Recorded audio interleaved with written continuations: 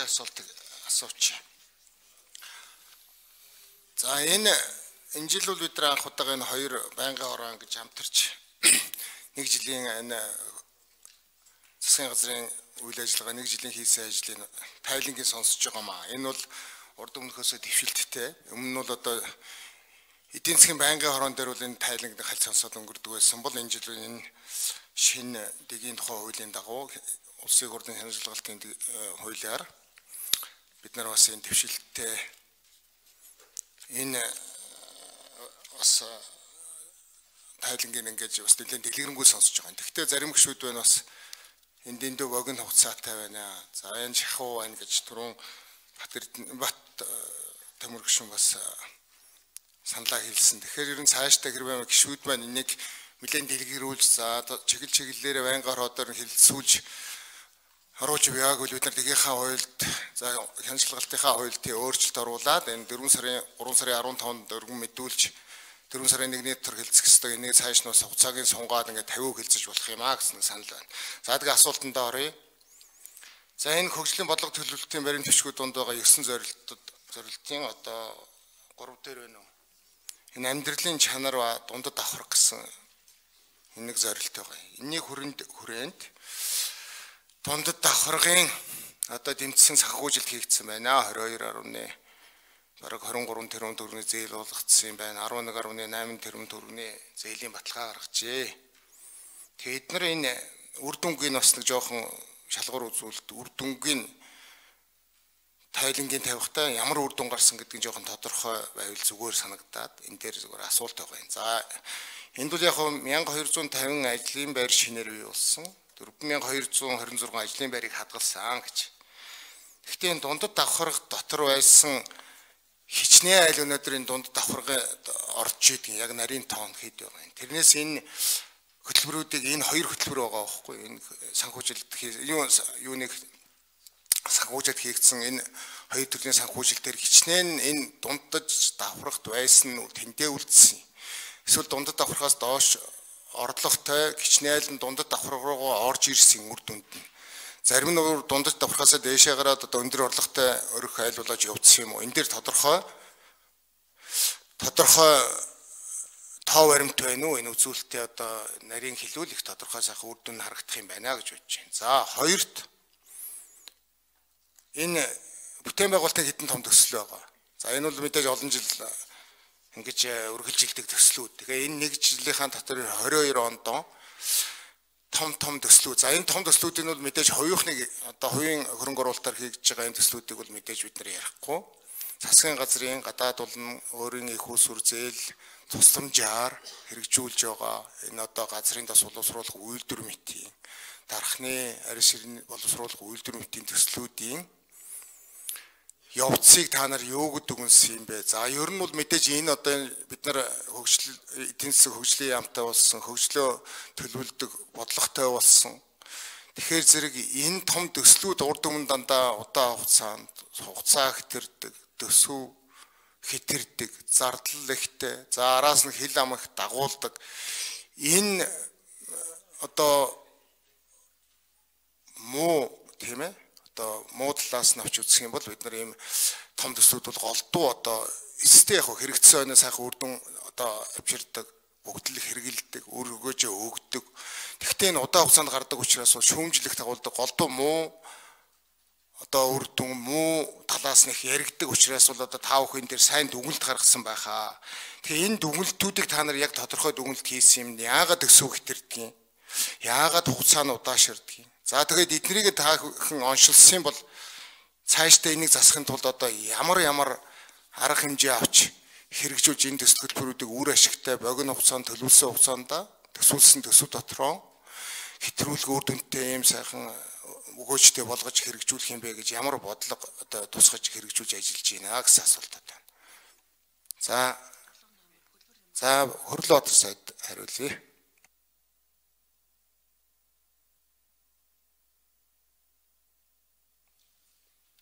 За хөрөнгө оруулалттай холбоотой асуудлуудыг сангийн яамны төрийн нэрийн бичгэн дээр ярих байхаа. Ер нь 22 онд бас тийм амаргүй жил байсан. Гэхдээ одоо засгийн газрын хувьд хийж дуусгасан ажлуудыг бол нийтдээ нэг 400 70 80-аад км төмөр зам байж байгаа.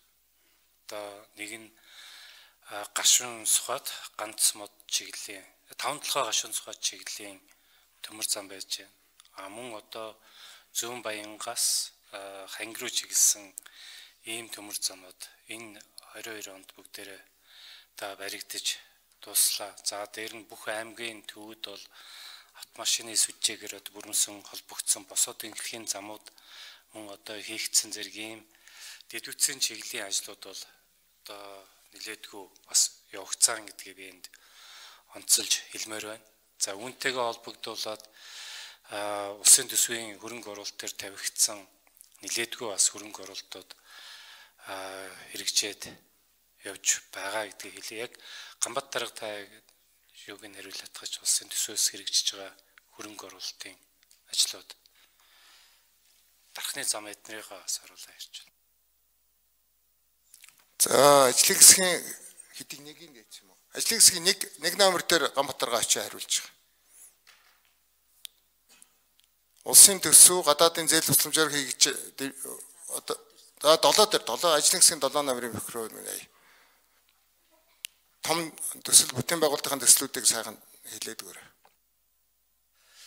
За асуултанд хариулъя. Бид яг хоо томоохон төслүүдийг бол бид өмнө нь өнөөдөр хүртэл явж ирсэн арга бол бид гадаадны гадаадын зээл тусламжийн хөрөнгөөр гэдэг ийм байдлаар санхүүжүүлж ирсэн. Гэтэ энэ дээр бол асуудлууд бас үүсч байна. Хөрөнгөний амаргүй байдлууд их өсвөрийн талд. Нь газрын тусны боловсруулах хууль төр дээр бид нийтдээ энтхийн хөнгөлтэй зээлээр ингээд 17-оос 2025 он гээд энэ зээ ингээд төслийг хэрэгжүүлж байгаа. Үүн дээр нийт бол төслийн өртгөөсөө бид 2023 оны төсөвдөр бол 23 онд бол 178 тэрбум төгрөг бид нэр сангуужуулна гэдэг ингээд тооцсон. Энэ дээр бол 23 онд бол хийгдэх ажлууд нь үйлдвэрийн анх диспарчсан болон дагалдах байгууламж, үйлдвэрийн захилгаас станц гээд төслийн менежмент гээд ийм байдлаар ажилласан. Гэтэ энэ дээр бол яг хэрэгжилтэд явцад болон нөгөө гадны энтгийн бас сөнгөлтэй зээл учраас бас эдний засгийн газрын бас энэ дээр их усроо нэмэлттэй ажиллах гэдэг ийм асуудлууд дээр асуудлууд бол үүсэт байгаа. Гэтэ энэ дээр бид энэ асуудлыг бол саяхан засгийн газрын оролтоон дээр энэ үнийг гүйцэтгэгчийн хувьд бол бас Эрдэс Монгол харин нөгөөд энэ дээр бас нэмэлт их усруудыг цаашаа сангуужилт хийх боловсронгоолох талд нь бол анхаарал ажиллаж байгаа.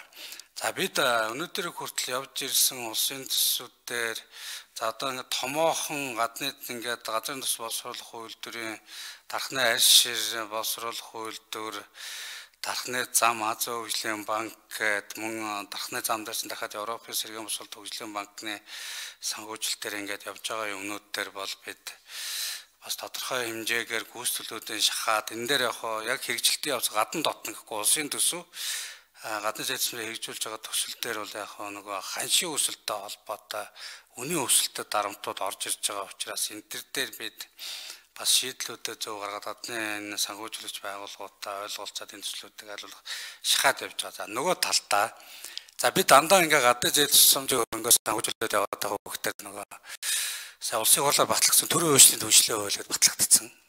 За бид зангуужилтын томоохон төслүүд ер нь цаашдаа энэ төслүүд төрийн төслөө энэ хуулийн дагуу явуулахаар бол бэлтгэл ажиллагаа хангуулаа шин сэргэлтийн бодлогын өрөөнд хэрэгжих төслүүдийг энтэй уялдуулж ингэж явж ирэхгүй бол бид гаднаас зээл тусламжаар санхүүжүүлэх хүсрүүдэд ярих гэж хугацаа алдаг авсан байна бас юм юун дээр өний өсөлтөн төр үсээд иймэрхүү байгаа учраас бид одоо их усрын хувьд бол энэ санхүүжилтийн хувьд бол бид төрийн өшин төлөвлөлийн хуулиар энийг хэрэгжүүлэх ийм юмнуудаараа төлөхөө бол ажиллахаар бол шинжиргэлтэн бодлоготой уялдуулаад энийг хэрэгжүүлэхээр ажиллаж байгаа. Нөгөө талдаа бидний бол гол алдаа бол тэр төсөл хэрэгжихдээ ингээ бэлэн болцсон байх хэрэгтэй.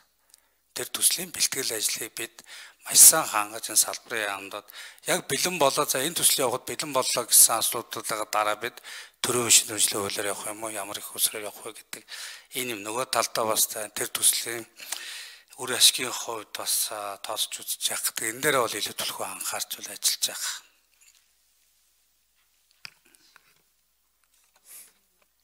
За нэг асуулт дундад давхаргын талаар нь Томо асуусан да хэн хариулах вэ? Хөдөлмөр нийгмийн агуулгын тренерийн бичгийн дарга өнөр үеэр дарга хариулах уу?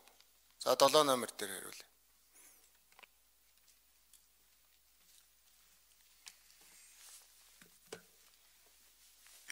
За цэрэг музик гişний асуултанд хариулъя. Хөдөлмөр нийгмийн хамгааллын яам өнөр хоёр. За нийгмийн дундаж давхаргыг тэлэх бодлого бол зөвхөн хөдөлмөр нийгмийн хамгааллын яамны асуудал биш. Бүх төрлийн байгууллага, институцийн хүрээнд ярих ёстой эдийн засгийн өсөлттэй уялдаж яригддаг асуудал. За боловсрол, эрүүл мэнд, нийгмийн хамгаалал, хөдөлмөр эрхлэлтгээд олон салбарын хүрээнд яригдана. За засгийн газрын хувьд бол өнгөрсөн жилийн хугацаанд нийгмийн дундаж давхаргыг хамгаалах олон бодлого хэрэгжүүлсэн. За тухайлбал 10 их найдын зээл, за ковидын үеийн нийгмийн хамгааллын бодлогуудыг одоо бас ярих хэрэгтэй. Ковидын үед бол бид нэр ажил хөдөлмөр эрхэлж байгаа хүмүүсийн нийгмийн хамгааллыг сайжруулахын тулд 873.7 тэрбум төгрөгийн нийгэм даатгалын хөнгөлт чөлөөлт, шимтгэлийн хөнгөлт чөлөөлтийн бодлого бас хэрэгжүүлсэн. За өнгөрсөн жил бол бид нэр бүх хүүхдэд нийгмийн халамжийн бодлого хэрэгжүүлээд бүх хүүхдэд хүүхдийн мөнгө өгсөн. За нийгмийн зорилт төлөвлөлт бол одоо хүнсний толгойн бодлого бол хэвээрээ үргэлжилж байгаа. За мөн хүнсний толгойд хамрагдж байгаа ажил хөдөлмөр эрхлээг хүмүүсийг бүгдийг ажил хөдөлмөрт зуучлах энэ бодлогыг бол хөдөлмөр нийгмийн хамгааллын яам бол авч хэрэгжүүлж байгаа. За өнгөрсөн хугацаанд бол халамжийн бүх бодлогуудад дүгнэлт хийгээд ажил хөдөлмөр эрхлэх ёстой насны бүх хүмүүстээ бас дүгнэлт хийгээд тухайн хүмүүсийг бол ажил зуушлах энэ бодлогыг бол хэрэгжүүлж байгаа. За өнгөрсөн жил бол хувийн хвшил том бүтээн байгуулалтын салбарын хэмжээнд бол нэг 50 мянган орчим ажлын байрны захиалга ирсэн. За үүнээс бол нэг 29 мянган ажлын байран дээр бол одоо зуучлах бодлого бол одоо бас хэрэгжсэн гэдгийг бол одоо бас хэлье. За мөн энэ хөдөлмөрлөлийг дэмжих бодлоготой уялдуулаад манай хөдөлмөрлөлийг дэмжих сангаас нэг 100 орчим төгрөм төгрөгийн хөдөлмөрлөлтийн бодлогуудыг бол одоо бас хэрэгжүүлсэн. За өнгөрсөн жил бол бид нэр түрүүн бас гişүүд асуугаад байна. Цалин өсний нэмэгдэл энэ нийгмийн дундаж давхрыг хамгаалах бодлоготой бас уялдаж яригдах хэвээр. За эрүүл мэнд боловсрол соёлын салбарт одоо ажиллаж байгаа 107 мянга орчим төрийн албан агштын одоо цалингийн ангил зэрэглэлийг сайжруулах энэ бодлогыг бол засгийн газрын зүгээс бол авч хэрэгжүүлсэн. За өнгөрсөн жил бол бид нэр тэтгэвэр авж байгаа хүмүүсийн ахмадуудын тэтгэврийг нэмэгдүүлэх хамгийн багадаа 15-аас дээш хувиар нэмэгдүүлэх бодлогыг бол засгийн газрын зүгээс бас авч хэрэгжүүлсэн. За энд бол нэг 637 орчим тэрбум төгрөгийг бол одоо бас зарцуулсан гэдгийг хэлсэн анхаарлаа баярлалаа.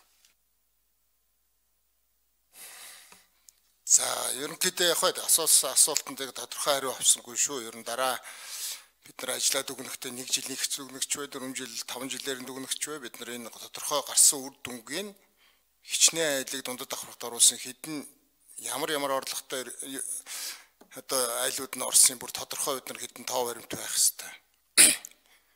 Тэгэхээр зэрэг дараагийн энэ үзүүлэлтийг зөвхөн тэдэн ажлын байр бий болгосон, тэдийг хадгалсан гэдэг үзүүлэлт төрөөс. Яг одоо энэ хэрэгжүүлж байгаа арга хэмжээний үр дүнд хичнээн айл яг дундад аврахтай энэ өрхийн тоонд ороож явцсан гэдэг бүр тодорхой ийм ийм ажлын байр болоод ийм ингэж орлого нэмэгдээд ингэж явсан гэдээ бид нарт хилдэг байвал зүгээр байна. Тэгээд тэрэн дээрээ бид нар дүгнэлтээ хийгээд цаашдаа бас бодлогоо гаргаж явдаг бол одоо үр дүн сайн гарч одоо бидний зориод байгаа зорилт зорилттой хүрэхэд бас төхөмтэй болов уу гэж бодож байна. Дараа тодорхой тоотой байна шүү. Дараа жилийн бид нар 23 оны ажлыг дүгнэж ярихад өөр үзүүлэлтээ бид нар одоо шалгуур үзүүл гаргацсан үр дүнгээ бас энэ өөр одоо тоогоор бид нар гаргаж харуулаарай. Тэн дээр бид нар тодорхой ярья гэж бодож байна. За, чуулган дээр ч бас асуух байх та нар бас чуулган дээр энэ дээр хариулт дээрээ.